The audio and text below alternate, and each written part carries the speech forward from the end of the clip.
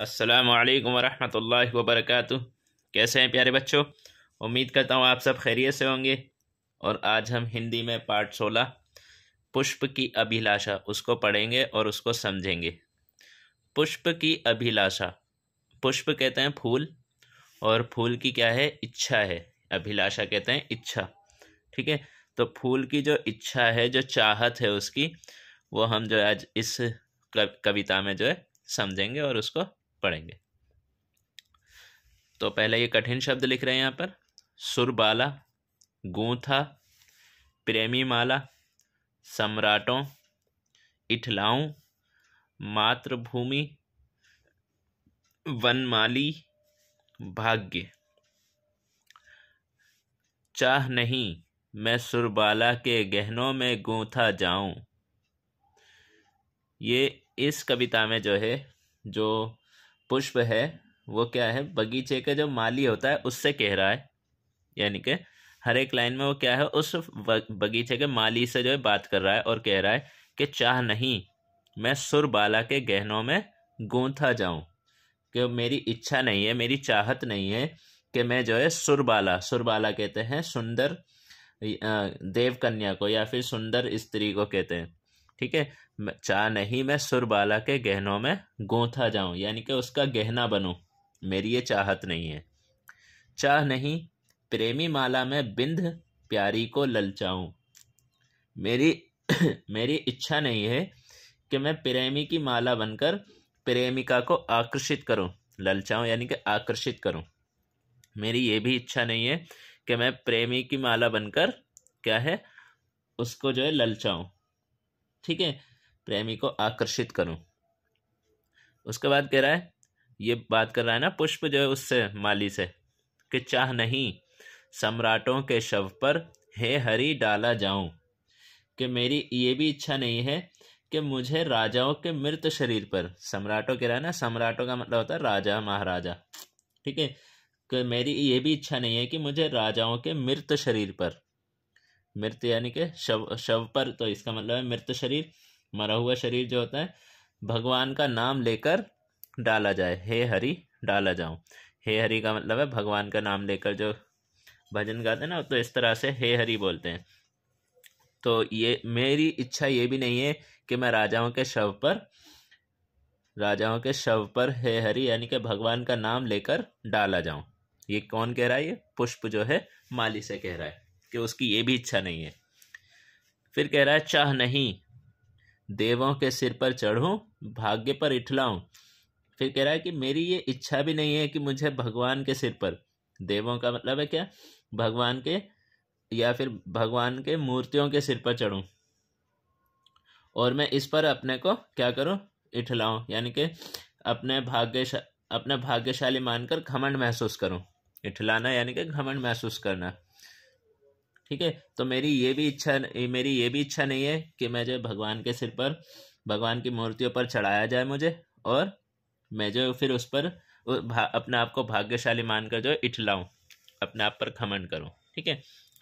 फिर आगे कहता है फूल, मुझे तोड़ लेना वनमाली। वनमाली से क्या कहता ओ वनमाली, मुझे तोड़ लेना। उस पथ पर देना तुम फेंक। और तोड़कर क्या करना? उस पथ पर, यानी कि उस रास्ते पर फेंक देना मुझे। अब किस रास्ते पर? आगे बता रहा है।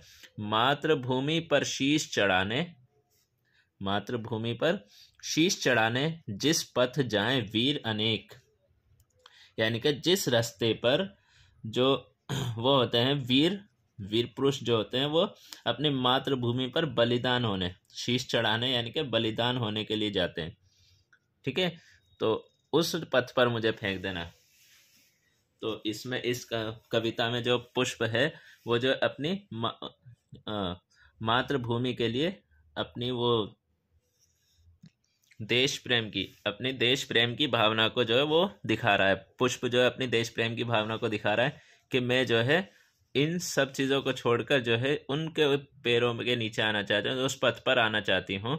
जिस पथ पर जो वो होते हैं, वीर जो होते हैं, वीर जो वीर पुरुष होते हैं, उनके जो बलिदान होने जाते हैं, यानी कि सैनिक जो होते हैं, वहाँ पर जो अपने दृढ़ता का वो दिखा रही है पुष्प, ठीक है? तो उम्मीद करता हूँ आपको ये जो समझ में आया होगा। और ये जो कविता लिखी है, ये लिखी है माखन लाल चतुर्वेदी ने। मैं आपको इसमें जो कठिन शब्द थे, एक बार फिर से आपको मैं समझा देता हूँ, जो इसमें समझ में ना आए हों, जैसे चाह नहीं मैं सुरबाला। सुरबाला कहते हैं देव कन्या देव कन्या या फिर कोई अप्सरा। अप्सरा जैसे स्वर्गलोक की स्त्री। परम सुंदर स्त्री। इस तरह से बहुत सारे नाम होते हैं, ठीक है? उसको कहते हैं सुरबाला। सुंदर स्त्री को। गहनों। गहने तो आप सभी को पता ही है। गूंथा जाऊँ। गूंथा का मतलब है, जैसा आटा गूंथते हैं। अब ऐसा नहीं है कि उसको गहनों को गूंथना है, ठीक है? चाह नहीं, प्रेमी माला में बिंद प्यारी को ललचाऊं। प्रेमी प्रेमी माला, यानी कि प्रेमी की माला। ठीक है, और बिंद बिंद प्यारी बिंद प्यारी का मतलब है बांधना। बिंद प्यारी को ललचाऊं, यानी कि प्रेमिका को। चाह नहीं सम्राटों के शव पर। सम्राट, यानी कि राजा, महाराजा जो होते हैं, महाराजाओं के शव पर, उनकी बॉडी पर। शव यानी कि जो मृत शरीर होता है मरा हु, मरी हुई जो बॉडी होती है उस पर। हे हरि यानी कि भगवान का नाम लेकर। चाह नहीं देवों के सिर पर। देवों यानी के भगवान की बात हो रही है यहाँ पर। चढ़ूं भाग्य पर इठलाऊं भाग्य यानी कि किस्मत। और इठलाना इठलाना कहते हैं इतराना एक तरह से घमंड करना। मुझे तोड़ लेना वनमाली उस पथ पर देना तुम फेंक। पथ कहते हैं रास्ते पर। मातृभूमि पर शीश चढ़ाने, जिस पथ जाएँ, वीर अनेक। मातृभूमि मातृभूमि कहते हैं जन्म स्थान या अपने देश की मातृभूमि बोला जाता है। तो अपने देश की जो ज़मीन होती है, उसको मातृभूमि बोलते हैं। और शीश शीश कहते हैं सिर। सिर या फिर मस्तक, माथा, ठीक है? तो मातृभूमि पर शीश चढ़ाने, अपना मस्तक जो है, वो क्या चढ़ाने, जिस पथ जाए, वीर अनेक। वीर यानी कि बहादुर योद्धा। तो उम्मीद करता हूँ ये सारे चीज़ आपको समझ में आए होंगी। अस्सलाम वालेकुम